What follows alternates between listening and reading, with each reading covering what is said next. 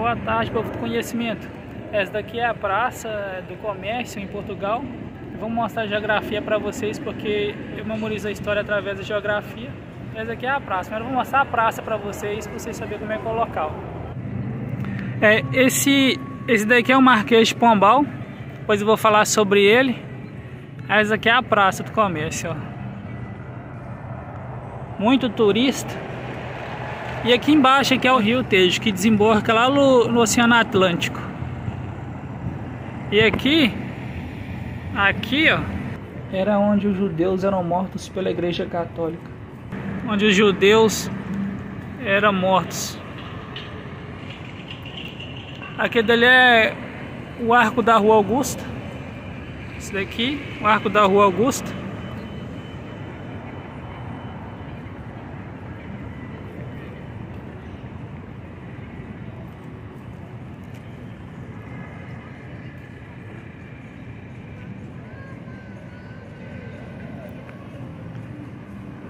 Agora no mapa, a geografia pelo mapa, eu vou colocar aí para vocês.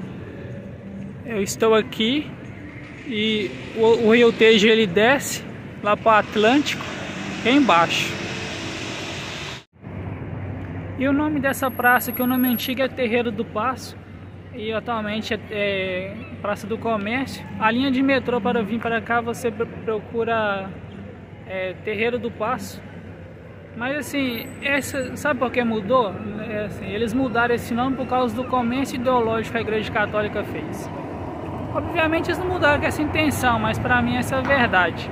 O comércio ideológico que a igreja fez matando os judeus. Isso está até na Bíblia, o comércio ideológico da Igreja Católica. É, outra profecia também que está na Bíblia relacionada aconteceu aqui, está no livro de Daniel. É uma profecia de 2.300 anos.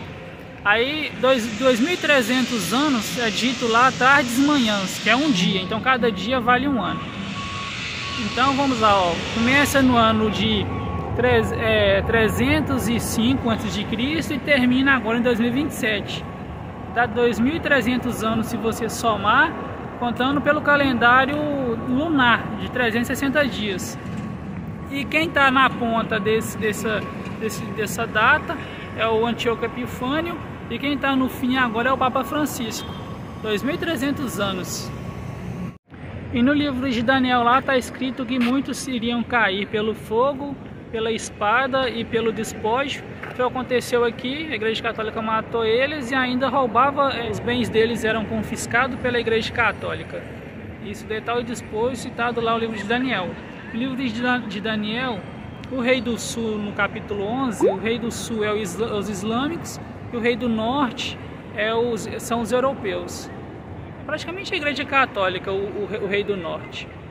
E eu sei que o Antíoco Epifânio está numa ponta e o Papa Francisco na outra ponta, porque o Antíoco Epifânio ele foi o oitavo rei da dinastia Seleucida. E o Papa Francisco está na ponta aqui em 2027, porque desde 1929 o Papa Francisco é o oitavo rei. Então os dois batem. Porque o Papa Francisco ele é considerado um rei, ele é um rei do Vaticano.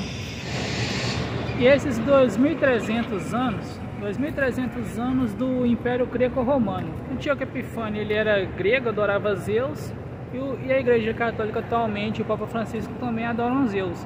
Então é 2.300 anos do Império Greco-Romano. Isso que no livro de Daniel, é, o, o, o quarto animal ele tem dentes de ferro e garras de bronze. Então é greco-romano, igualzinho na estátua. A estátua de ferro, ela tem as pernas de ferro e o ventre de, de bronze. É o grego-romano. E na Bíblia diz, no livro de Tessalonicenses, que não viria o filho da perdição sem que antes visse apostasia. Então, por quê? Porque a apostasia, ela se completou no dia 7 de outubro de 2019, quando o Papa Francisco introduziu o Pachamama dentro da Basílica de São Pedro. Então ali entrou no santuário de Deus ali, o, o ídolo que é abominável da desolação. Todos os ídolos, todas as imagens são abomináveis, mas da desolação é porque Pachamama aceita sacrifícios humanos. Então ali até hoje eu acho que deve, os andinos devem sacrificar pessoas a, a Pachamama assim. Então ali se completou a apostasia e a apostasia já foi retirada já e agora todo nós já podemos entender a profecia que aponta para o Papa Francisco. E como está lá no livro de, de Mateus, quando Jesus diz que quando vêssemos o abominável da desolação no lugar santo, quem entenda que fuja. É, então você já pode entender que se você estiver na Europa e os judeus forem expulsos, pode saber. Aliás, pode saber por causa desse, desse, desse acontecimento de Pachamama no Vaticano. Então, é, é, eu não vou ficar falando, repetindo sempre. Então, se você for esperto, você vai embora da Europa. Se você estiver em Jerusalém, Israel, pior ainda, você tem que ir embora mesmo. Eu não vou ficar repetindo aqui porque vocês já entenderam, senão o vídeo vai ficar chato, eu vou ficar sempre explicando a mesma coisa. E de acordo com o livro de Daniel, quem foi que matou Jesus foi o Império Greco-Romano.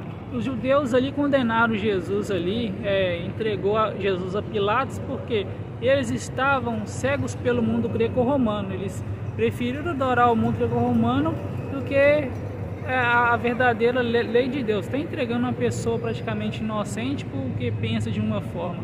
É aí que na Bíblia quando diz que até o príncipe do exército do céu foi deitado abaixo, isso significa que o mundo greco-romano matou Jesus. E agora de 2023 a 2027, vamos ver o que é que as pessoas escolhem. Vamos ver se elas escolhem Jesus é Deus ou é Jesus Cristo, né? Representa Deus, ou os Zeus. E aí vamos ver. É igualzinho naquela árvore da, da profecia. A igreja católica é o tronco e é aquela arte de ferro que envolve o tronco é o mundo greco-romano. Depois você estuda essa árvore aí que eu fiz. E de 2023 a 2027, o mundo greco-romano irão estar matando os judeus e os cristãos novamente.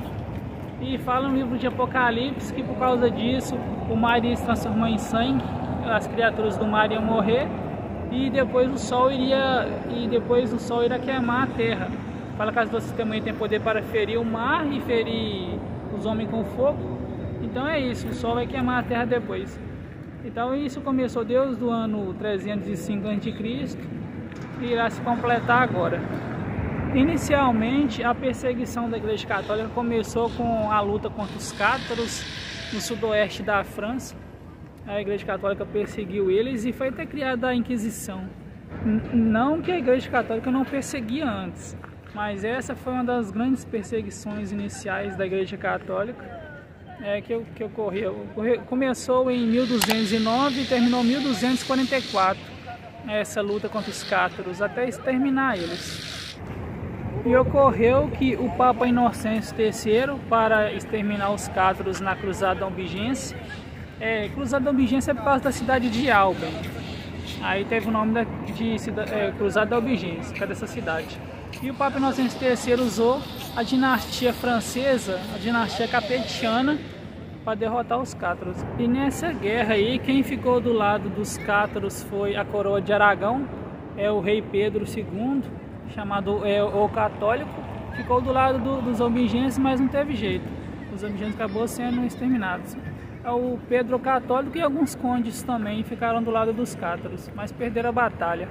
É, e obedecendo ordens da Igreja Católica, o rei Filipe II da França e um conde chamado Simão IV de Montfort ficou contra os cátaros.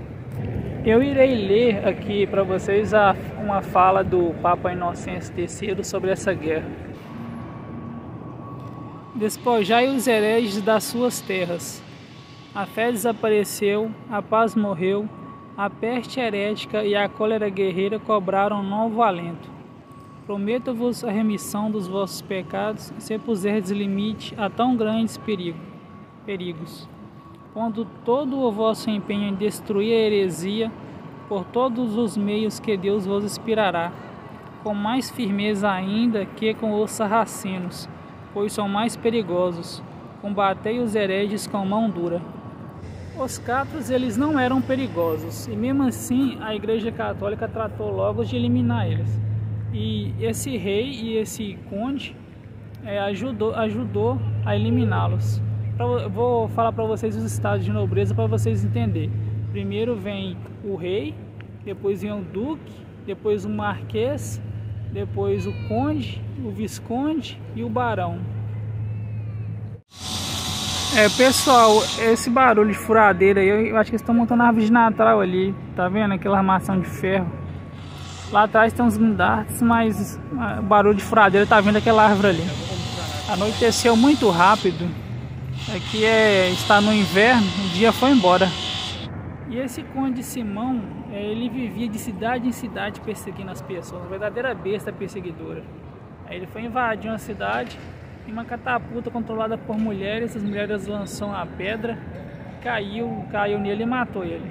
Isso irá ocorrer de novo, os perseguidores irão receber milhares de pedras na cabeça, mas dessa vez não vai ser de catapulta, vai ser de, de do céu mesmo, de asteroides. E a Inquisição aqui em Portugal, também conhecida como Tribunal do Santo Ofício, começou em, em 1536 e foi até 1821. A Inquisição ela já estava ocorrendo nas Espanhas dos famosos reis, reis católicos Fernando II e Dona Isabel. É, eles que unificaram as Espanhas e aí já estava ocorrendo lá e, foram, e foi trazido para cá de, depois da morte do Dom Emanuel I. O Emanuel I ele solicitou a Inquisição pra, para se casar com as filhas dos reis católicos, Fernando II de Aragão e Dona Isabel de Castela. Ele casou com a primeira, essa a primeira morreu e depois ele casou com a segunda. É, já estava na cláusula de casamento já que ele iria se empenhar para perseguir para perseguir os judeus. A Inquisição em Portugal iniciou seu declínio em 1755, no, no dia 1 de novembro desse ano, quando teve o grande terremoto de Lisboa. Foi exatamente no dia de Todos os Santos. Aí eles estavam já preparados aqui para, para matar pessoas.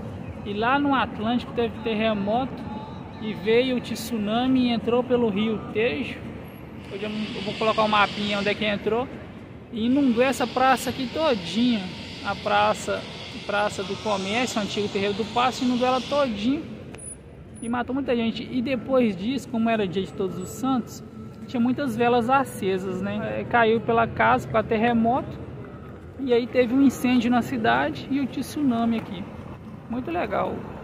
Em seguida, o secretário do rei, é, é conhecido como Marquês de Pombal, que tem está montando esse cavalo aqui, homenagem a ele. Mas ele não é muito herói, ele é um perseguidor político e covarde, na minha opinião, né? Então, depois disso, depois desse terremoto, ele é o secretário, ele foi secretário do rei e ele organizou a cidade. E aí ele tirou da mão da Igreja Católica o, o Tribunal de Santo Ofício, a Inquisição, para descer dever do Estado. Eu falei que ele é um perseguidor político porque teve uma noite que o rei Dom José I estava andando de carruagem e apareceu uns homens atirando, aquelas garrochas velha antiga. Aí os homens atirou, mas não acertou ninguém na carruagem do rei. O rei estava com sua amante, né? Mas ninguém ficou ferido. E aí ele acusou a família dos Távoras. A execução da família dos Távoras ocorreu em 13 de janeiro de 1759. E aí para quê? Ele se beneficiou se tornando marquês. E com essa perseguição dos Távoras, muita gente fugiu. Fugiu muita gente para o Brasil um homem chamado irmão Lourenço, ele saiu daqui de Portugal fugindo, foi lá, foi lá para o Brasil, entrou para Minas Gerais lá dentro e fundou uma igreja lá onde hoje é conhecido o Santuário do Caraça. Quem mora na cidade de Santa Bárbara e Catas Altas conhece muito bem o Caraça. É incrível como a história é conectada. E em 2012 eu conheci uma moça que trabalhava no Santuário do Caraça.